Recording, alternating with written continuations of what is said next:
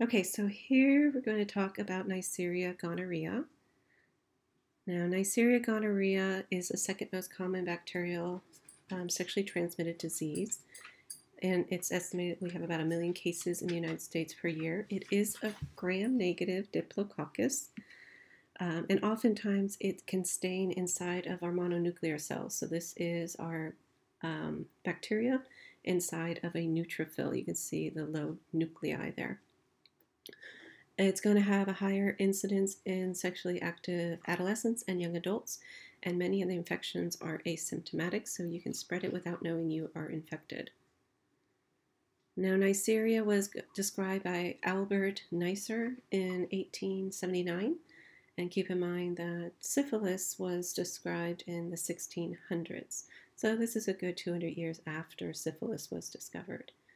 This was observed in smears of um, purulent or pus exudates um, from the reproductive tract, and in the 1960s, a medium which allowed for growth of um, Neisseria in culture was developed, and it's the Thayer Martin medium. And of course, gonorrhea is known as the clap. Now, gonorrhea is again a gram negative diplococcus.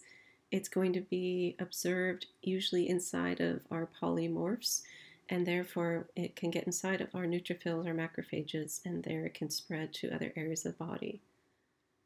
Um, you can have infection of non cornified epithelial cells in areas of your um, reproductive tract, um, as well as in areas of dissemination, pharynx, conjunctiva, etc.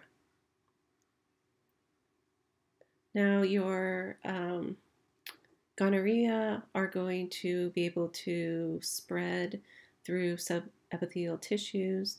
They are going to have virulence factors, so they have pili, which can help them to attach. They divide relatively fast, every 20 to 30 minutes and you're going to have toxins that are going to damage cells. So the toxins are going to break down your cells, lead to submucosal abscesses, and exudates in the lumen as well form.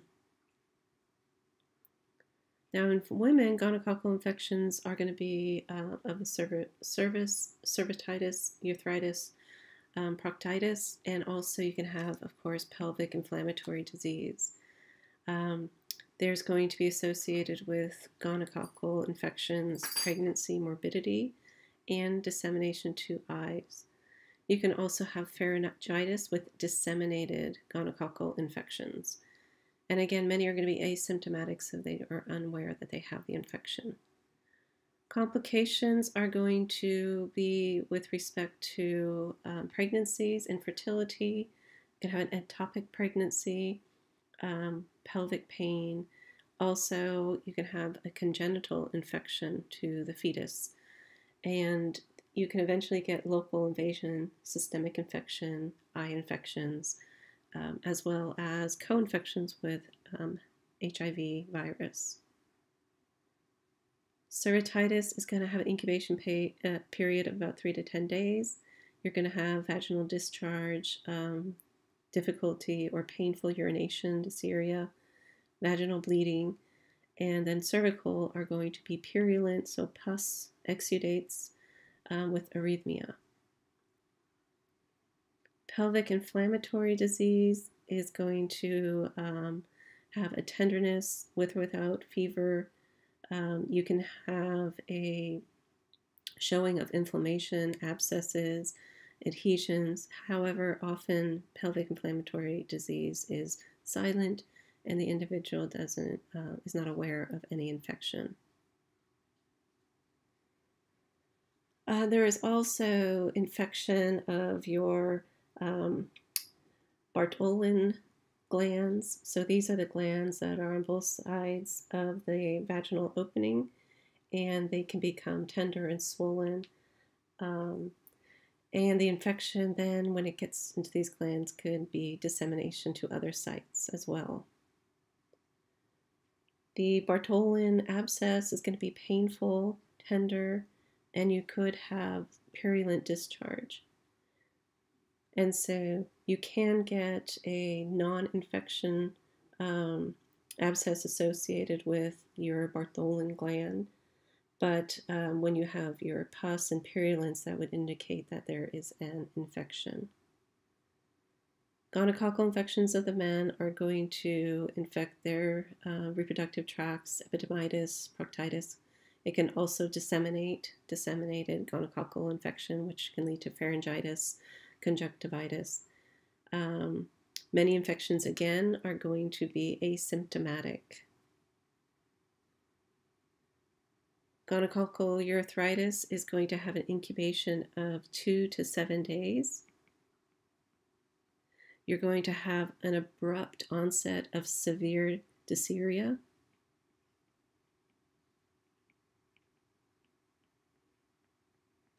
You're going to have a purulent pus urethral discharge.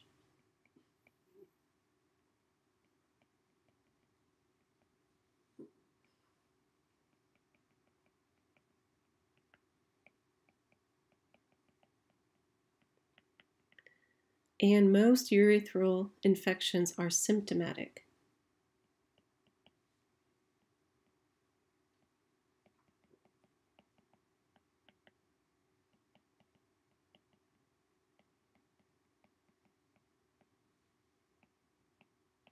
So this is very different than what we've been saying before of um, asymptomatic.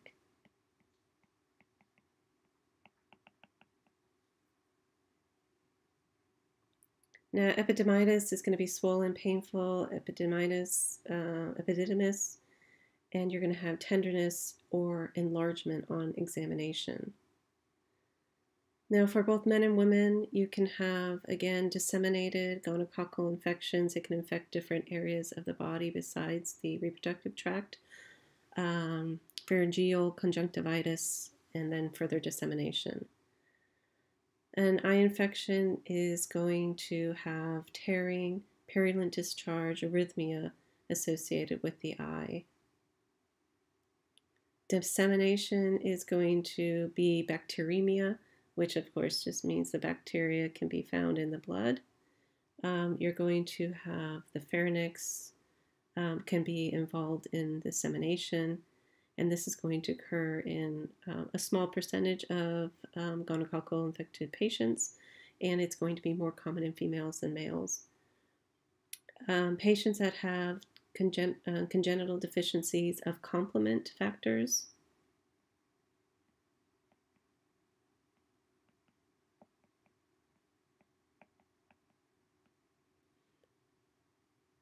especially in C7 C8 and C9 are at high risk. Remember, this is going to form that MAC complex. And it's going to be the MAC complex of these complement components that are going to punch holes in the walls of bacteria. So um, gonorrhea is going to be very sensitive to complement, and deficiencies in complement can um, be associated with dissemination. Clinical manifestations, you could have um, dermatitis, arthritis syndrome. Arthritis is in about 90% of patients. Um, this is going to be fever, chills, skin lesions, um, and less common are you going to have inflammation of your liver, um, heart, endocarditis, meningitis, inflammation in the brain. A rash can be associated with um, disseminated um, um, gonorrhea, and this is going to be either macular or papular. It can also be hemorrhagic necrotic, um, so there can be various um, presentations. So here's disseminated gonococcal skin lesions. You can have your small, painful mid-palmar lesion. Um, there is a necrotic grayish lesion um, that can occur on the skin as well papular or pustule lesions on the foot and skin, and then pustule um, lesions also just on the skin. Complications associated with pregnancy are postpartum endometriosis, septic abortions, as well as um, post-abortal pelvic inflammatory disease. Um, this can have play a role in gestational bleeding, preterm labor and delivery, as well as premature ruptures of membranes. Vertical transmission uh, for neonates, you have a rate of about 30% mother to child um, during the fetus development. And of course, this can lead to eye infections, disseminated gonococcal infections, sepsis, arthritis, and meningitis. You can have scalp abscesses, um, vaginal or rectal infections, as well as pharyngeal infections of the newborn.